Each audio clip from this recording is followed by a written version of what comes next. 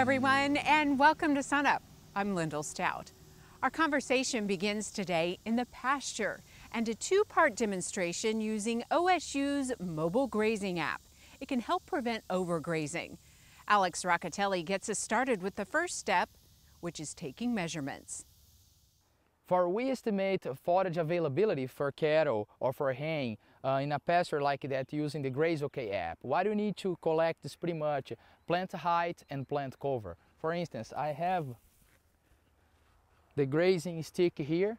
So that's pretty much what we need to do is come and take the forage height. And after, we need to take the forage cover. And when we, we press our hand, you can see that we are going to find the average height of the leaves. That's pretty much where most of the forage is. Mistakenly, you could say that it has one meter, three feet of forage. You go down about 15 inches. I talked to Dave Lalman and he mentioned to me that this field is not being fertilized and is being managed pretty much as a native pasture. So I would say in this case, uh, let's treat this as a native pasture. And as a rule of thumb in native pastures, we say, let's graze half and leave half. If you wanna graze or hay, the best time is right before Independence, Day.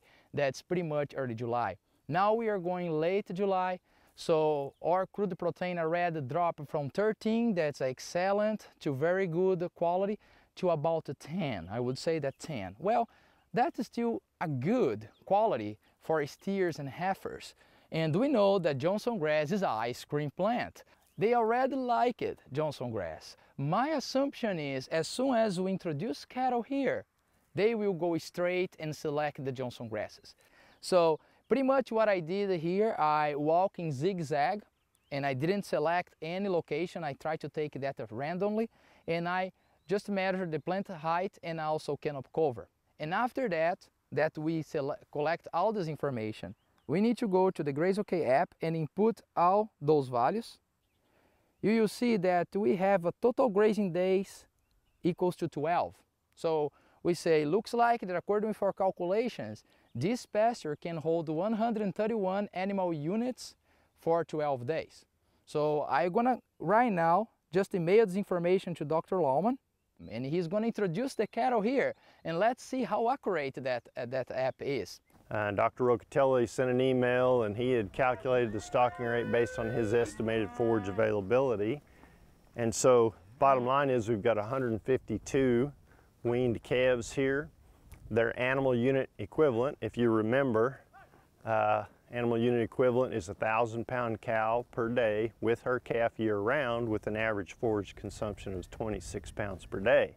So these calves would you'd, you'd estimate 0.875 so that that gets you to about 23 pounds of estimated forage consumption per day.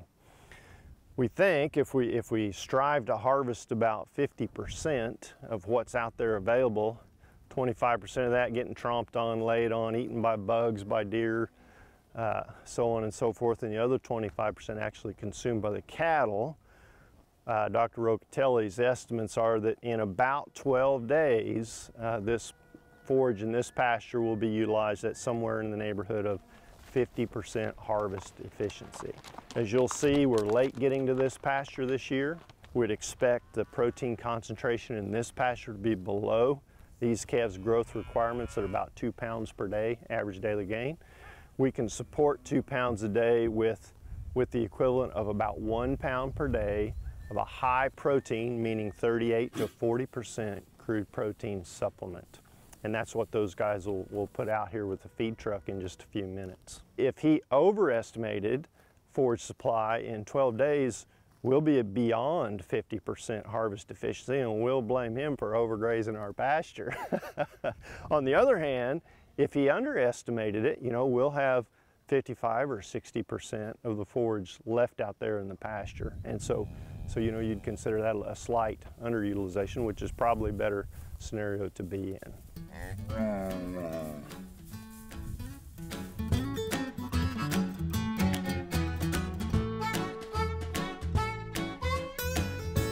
August so far has delivered a deluge of rain for most places in the state.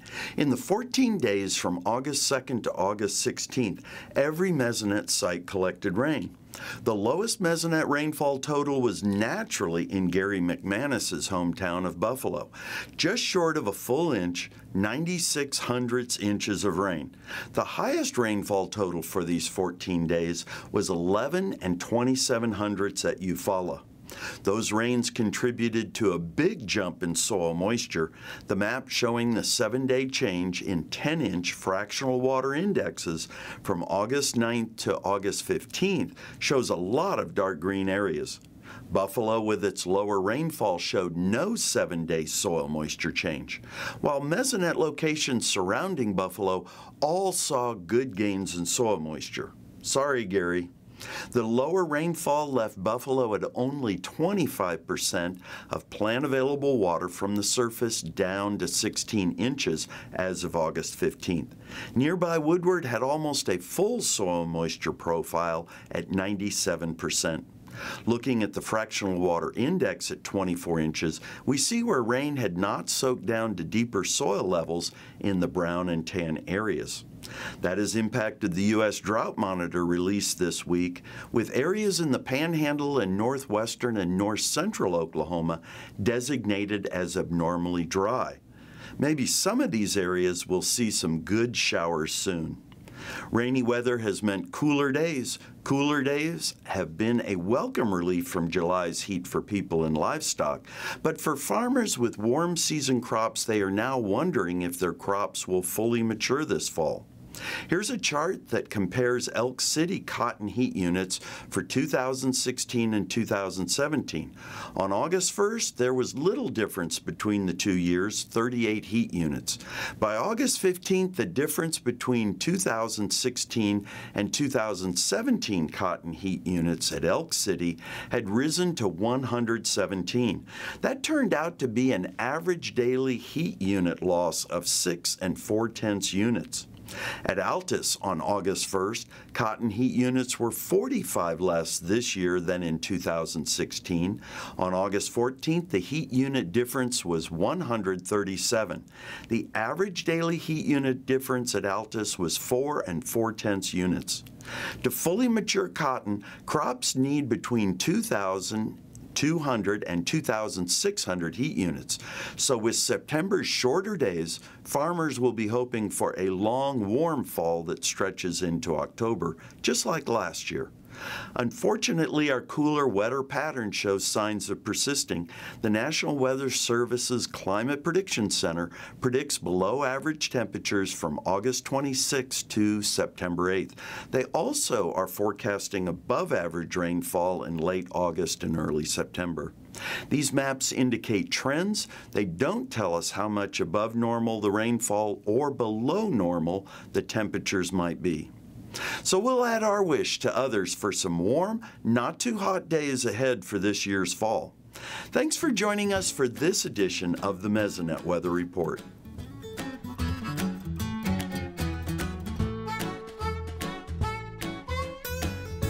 Here we are in the pasture 13 days later with Alex Rocateli. And Alex, you're following up and getting some measurements today? Right, yes. We are going to be uh, what I'm going to be doing here is exactly seeing how good the GrazeOK app did on estimating forage availability in this pasture. So what I need to do now is remeasure and cross my fingers to see if the app did a good job. So let's get started. Okay. All right, so first, before I measured, we placed the cattle here pretty much in a continuous grazing as Lalman told me, David told me. And as you can see, it's pretty common that that happens. We have a loss of waste here. See, Right here you can see that the cattle pretty much didn't graze it. They just trampled around and didn't utilize it. If you go in a rotation system, what's going to happen is they will uh, end up grazing all that biomass, also all that forage. So that's something that we need to account when we're having a continuous grazing situation is that we are going to have some waste. And when you are remeasuring to see how good was the, the forage removed, we need to avoid those areas because that was already accounted to be not used. So here you can see that's an area pretty much where the, the cattle came and grazed. So You can see also they trampled a little bit and it's kind of laying down. So what you need to do first is put those plants back to their original stand and then we try to measure. And again, as I mentioned before, we are not going to measure the highest leaf. We are going to press and when we reach, we feel that most of the leaves are reaching or my hand is where I'm going to measure. As you can see here, if we do it, I can feel that's about here. I would say that we are almost seven inches, seven to seven and a half inches of biomass now. So what happened is 13 days ago, we came here and I measured 13 inches of biomass. And now I'm measuring seven and a half. According to my measurements, I was expecting that that biomass go down to six inches, the, the amount of water that we have. So in this case, looks like the Graze OK app underestimated a little bit the amount of biomass that we have here. We started about, well, I guess it was 13 days ago, turned this group of calves, there was about, as I recall, 152 calves that we turned out on that uh, pasture that Dr. Rocateli spoke about. And so the guys have just pulled these cattle up into the pens are actually going to be shipped on a truck tomorrow morning to go to the feed yard. And they should be weighing, they're going to be weighing real close to eight by now. Uh, they were weighing 765 or so about two weeks ago. And the overall goal is is low cost of production and long-term sustainability of your natural resource, and in this case, primarily that being, being the pasture. And so uh, with a, a, relatively small pasture, a pretty nice sized group of calves, you know, we just, we just calculated or estimated how much standing forage was available, and we're just trying to uh, see how close we could get using the, the extension tools that are available for grazing management. Lots of good insight though, and then I guess it's important to take records from year to year and season to season. Exactly right. That's, that's the main point here. Season after season, just make your records and learn with uh, the different environments that you're going to have. And I believe that after five, six years that you are doing your records and paying attention to your pasture, you're going to excel and know exactly how that pasture works. Terrific. Great demonstration by you and Dave Lalman. Alex, thanks a lot. Thank you.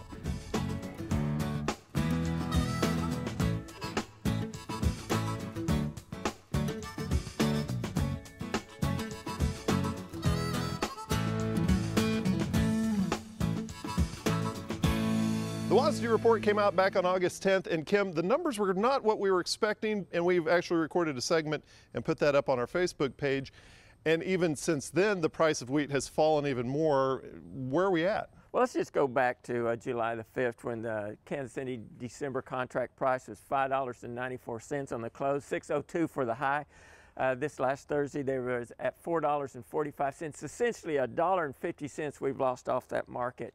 And if you look at that KC December contract, we had strong support at $4.53. We popped through that.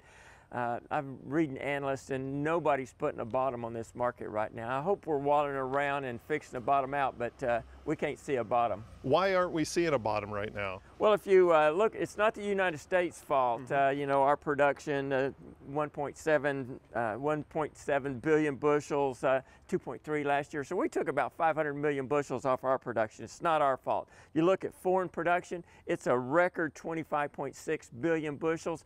Eight out of the last 10 foreign crops have been record crops. Uh, if you look at uh, what's going on uh, around the world and inside that, Russia over the last 10 years have increased their wheat production by 1 billion bushels, and that's hard wheat that com competes with us. Uh, China has increased their production by 800 million bushels. You know, they right now holding half the world's ending stocks, which is projected to be a record 9.73 billion bushels.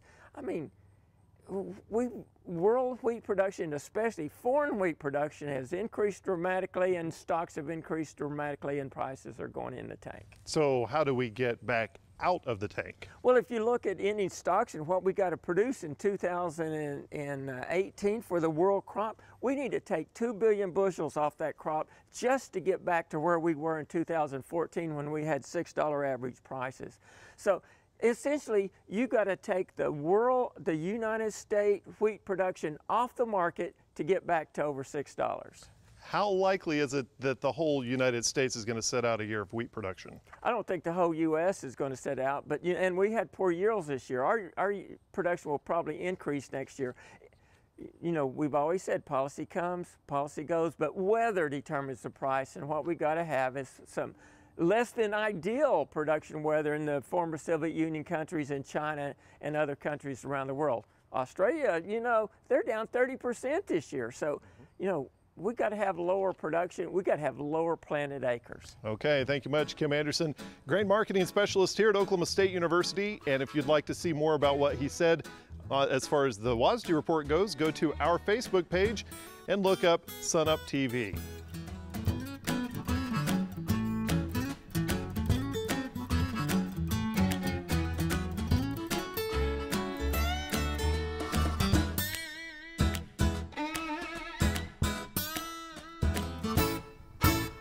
Bob Hunger, our extension wheat pathologist, joins us now. And Bob, growers kind of starting to think about fall planting.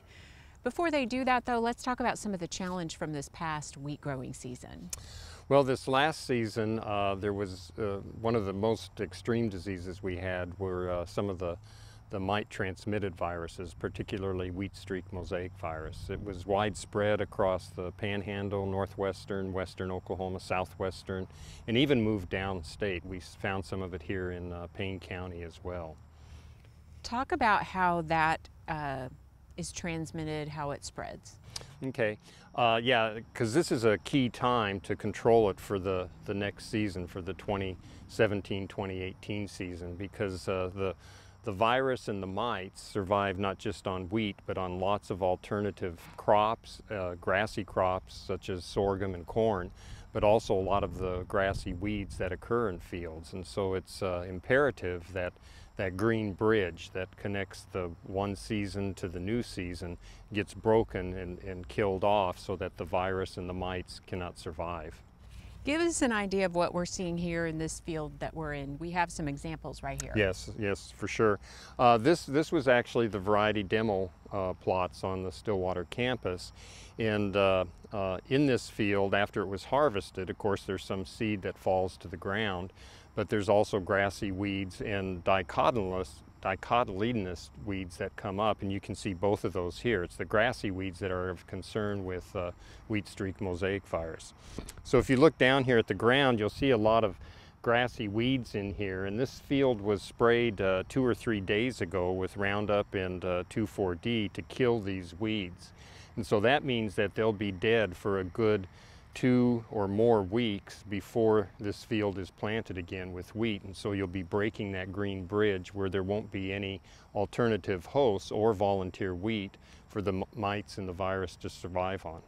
So now's kind of the time to look at look at what those management options are and, and get the field prepared. Uh, definitely, because it's those fields where there's a lot of uh, volunteer wheat and where there's the alternative weeds, grassy weeds in it, that harbor the mites and the virus. Those are the fields that are likely going to be affected in spring of 2018 because you get the fall infection with the mites and the transmitting the virus to that uh, seedling wheat then that seedling wheat will have the virus growing in it through the winter and then when the temperatures warm up all of a sudden you're going to have uh, a field that is pretty well covered with plants affected by wheat streak mosaic virus and that can be extremely damaging as a lot of people found out this year. It's very important for your own fields but also for neighboring fields. Be a good neighbor, be sure to control those grassy weeds and volunteer wheat so that uh, will helpfully help manage uh, wheat streak mosaic virus next spring. Because we can almost guarantee it's going to be windy, right? Regardless Definitely. of what the weather's going to be. yeah, the mites will blow, yeah. One final question in terms of selecting wheat varieties, is there anything at this stage? I know there's a lot of research that goes on with the wheat improvement team that can help. Uh, yes, that's uh, definitely one of the high priorities of Dr. Carver. Uh, there, there are some resistance genes to the, the virus and there's some resistance genes to the curl mites. Those aren't absolute genes. They're not, they don't offer complete protection, but he's working on incorporating those. Uh, there are some varieties around that have uh, these resistance genes in them, but most of them um, are not well adapted to Oklahoma. Okay, Bob, thanks a lot for your time. Thank you, Lyndall. We'll see you soon. cow-calf producers with spring calving operations that are keeping some replacement heifers this year, I think they want to make an appointment with their local veterinarian and have those uh, replacement heifers pregnancy checked just as soon as possible. You see, many of our producers like to breed replacement heifers in a relatively short breeding season. By that I mean 30, maybe 45 days, in some cases as long as 60 days. But that breeding season should be far enough behind us now to where a good experienced veterinarian that's done a lot of pregnancy testing can go ahead and evaluate those heifers and find out which ones are in fact pregnant and those that didn't become pregnant or those open heifers. Getting those opens culled now is important for three uh, very uh, big economic reasons. Number one, we'd like to identify those heifers that had trouble getting bred in that first breeding season and getting them out of our herd.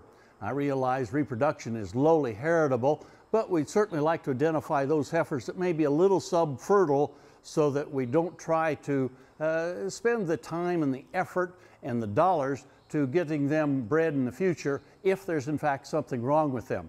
Research done many years ago up at Miles City, Montana, looked at lifetime studies of heifers that went through their first breeding season but did not get bred, but they kept them around uh, for the rest of their productive lives.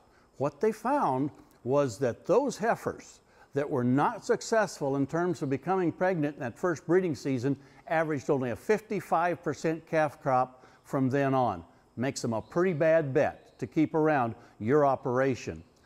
The second uh, part of this, from an economic standpoint, is those heifers that did not get bred, not going to give us a calf next spring and eventually to sell next fall.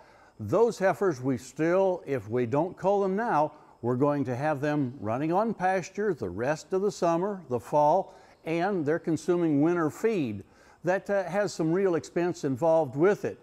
And then, of course, we find out next spring that she's not going to have a calf to help us recoup some of those costs. Finally, culling them now means that these heifers can be sold and put into a feedlot and fed out to have a chance to still be choice beef. If we wait until next spring when they're two year olds, then that opportunity is lost. And what happens in the process here is quite a loss in terms of the dollar value of these replacement heifers. Replacement heifers that weigh about 850 pounds today in the marketplace would probably bring about $1.30 per pound, and that's something just a little over $1,100. If we wait until next spring, when she's an open two year old cow, that's sold on the uh, slaughter cow market, she may only bring 75, 80 cents a pound, a little bit heavier, but still probably only going to bring about 700, uh, 780, 800 dollars. Hey, we look forward to visiting with you again next week on Sunup's Cow Calf Corner. Finally today, Sunup travels to Hughes County to look at a program that helps landowners fill up their ponds with fish.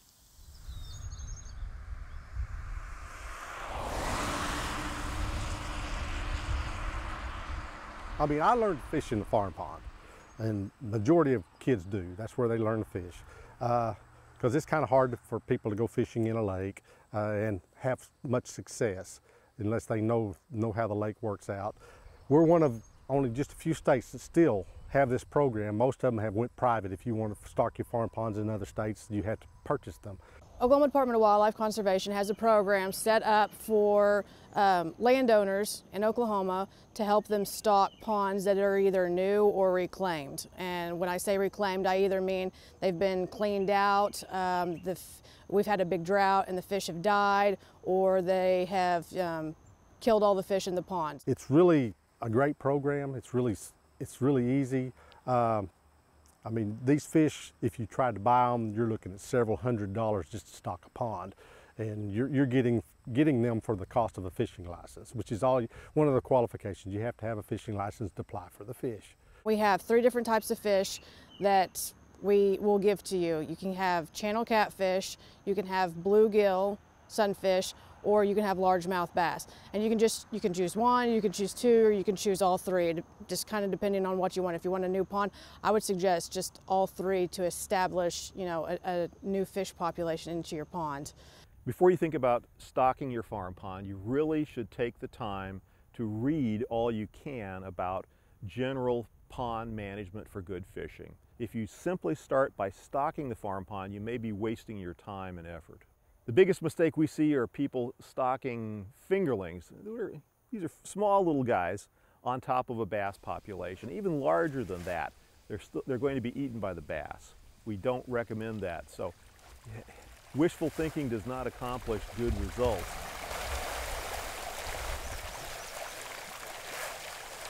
farm pond program, basically all these fish are a surplus. We're already raising these fish for the public waters. Uh, we put a few, few aside for our farm pond program. And then the catfish, we have the brood stock here. We, we let them spawn. We have kegs that we put out there and we gather the eggs and bring them in and hatch them. I come out, I make sure that, you know, you're the landowner. The pond has to be at least half an acre, surface acre in size. Basically the farm pond program was started because where do kids learn to fish? They learn to fish in farm ponds. Uh, and they are, they are the future of the wildlife department because we are dependent upon license sales. If by buying your fishing license, you're helping the wildlife department, you know, with future conservation efforts and restocking and helping, you know, other farmers utilize this program by buying your $25 fishing license through us and then you get, you get free fish. I mean, nothing's better than free. For more information on the Farm Pond Fish Stocking Program, just go to sunup.okstate.edu. And that'll do it for our show this week. Remember, you can find us anytime on our website, as well as follow us on YouTube and social media. I'm Lyndall Stout. Have a great week, everyone, and remember, Oklahoma agriculture starts at sunup.